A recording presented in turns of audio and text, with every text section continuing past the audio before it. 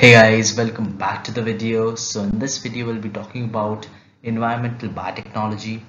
So previously we talked about ecosystem and some of its components. So in this video we'll be talking about types of ecosystems and its broader ranges. So let's just get started with this.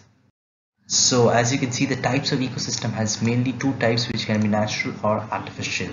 So the natural ones include aquatic ecosystem and terrestrial ecosystem whereas the artificial ones include cropland, aquarium park and kitchen gardens. Moving on with this, I'll be explaining all of the natural and artificial stuffs in details. So let's just talk about the services which uh, ecosystem provides to us which can be provisional services uh, which are primary production food water resources which can be regulating services which uh, include climatic regulation, soil fertility, pollination, water, bio, biochemical cycles and other regulatory stuffs. And lastly, we have the cultural services, which is the aesthetic, spiritual, recreational, social and educational stuffs. This is a pie chart as you can see for the ecosystem, uh, sort of a round diagram which includes all of the services that ecosystem renders to us.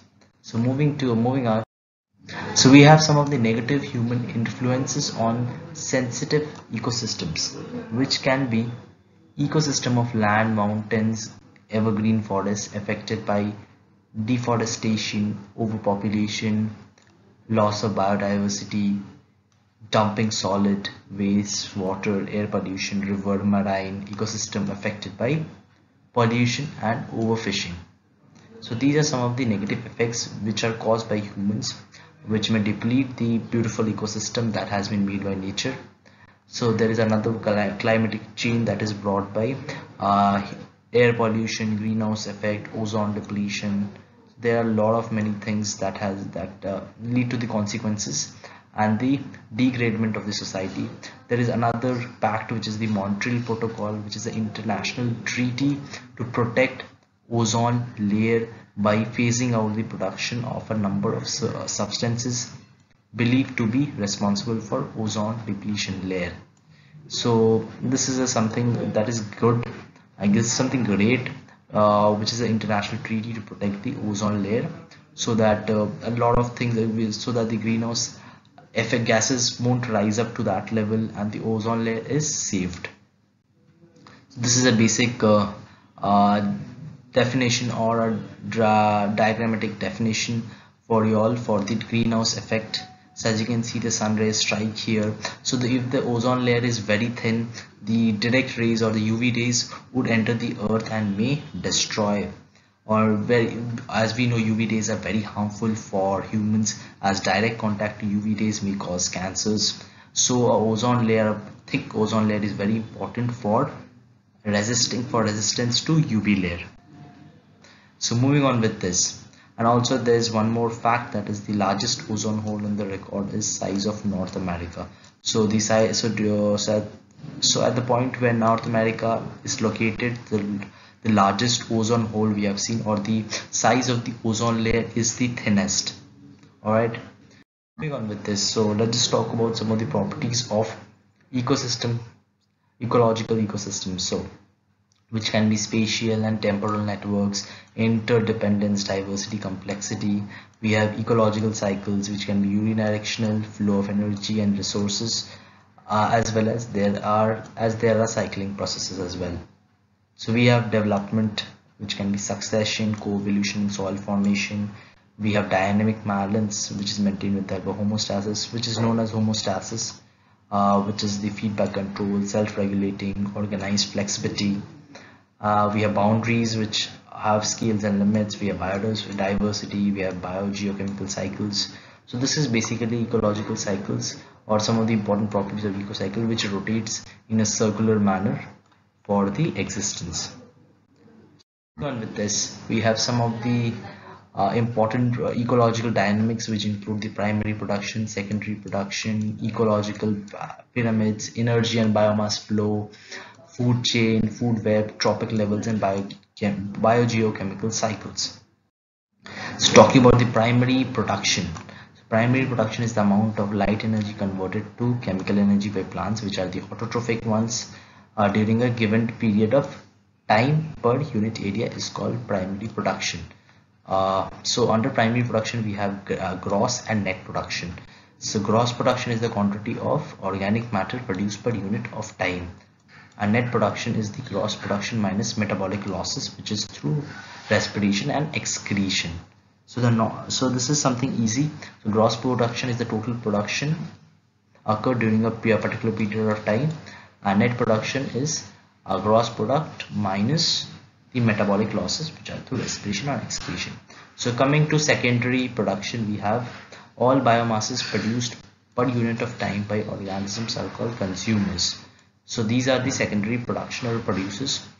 So the uh, the energy that is not used by producers can be passed on to other organisms which are the heterotrophic consumers. So i will show you i will showing you a pyramidal curve how the energy gets transferred. So let's just talk about the ecological niche. So which comes under the secondary producers. So place where an organism lives and the role that an organism performs in its habitat. So which is called a niche all right so where they live and all the uh, daily activities are performed which is it is called ecological niche for an organism. And all the biological physical and chemical factors that a species need to survive and stay healthy and reproduce. And niche is unique for every species all right? So niche is something that is not the same for every species but it is different for all the species. And it involves all strategies and adaptations a species uses in its environment. Also, this is how organisms obtain food, mates and production from predators and no two species can occupy the same niche alone. So, so definitely they cannot survive in the same niche because they have to adapt to the uh, environment and to the uh, they need to obtain food as well at the same time. So that is why they have unique niche is unique for every species. So moving on with this, we have some of the components of ecosystems, which are uh, some of the two main components, which are the abiotic and the biotic components. So the abiotic and abiotic or the non-living components include inorganic substances, organic compounds, and climatic factors. All right, so these are some of the non-living components. I'm talking about the living components or the biotic components, we have autotrophs or producers, we have heterotrophs or consumers, or we have saprophytes or decomposers moving on with this. So these are some of the easy stuff i hope so. That is very very easy. So let's just talk about the components of uh, ecosystem that we just went through. So these are dependent on the uh, abiotic ones or the non-living ones and the living ones or the biotic components. So the abiotic components or the non-living ones include the physical factor inorganic substances and organic substances that we just went through. So the physical factors are temperature humidity light atmospheric pressure and the inorganic substances are water, oxygen, carbon dioxide, nitrogen. The organic substances here are proteins, carbohydrates, lipids.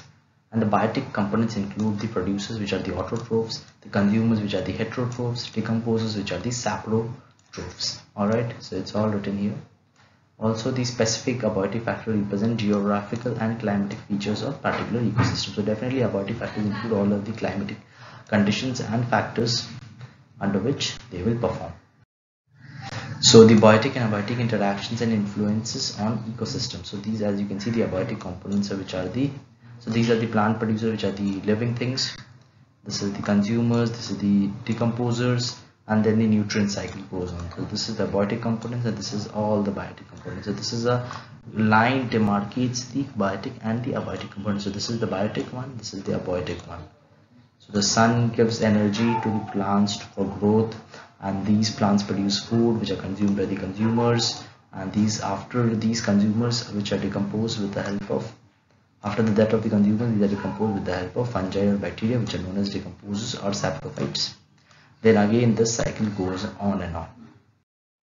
So talking about some of the biotic abiotic interactions, we have biotic interactions are density independent alright so this is something very important. Unlike biotic interactions anabiotic interactions are density independent. So this is a small difference between the two.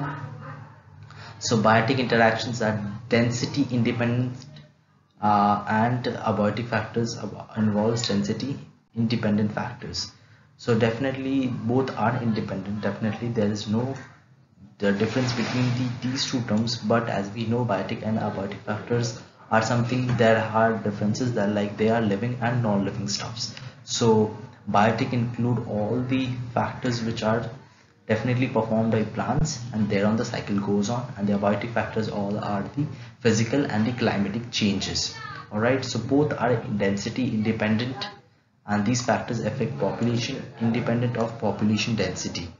All right so there are some of the important star factors and there are some vital processes such as growth nutrition reproduction which depend on which are very much depend very much on these interactions. So let's keep this video till here. I'll be continuing the next video from here on. So stay tuned and thank you for watching this video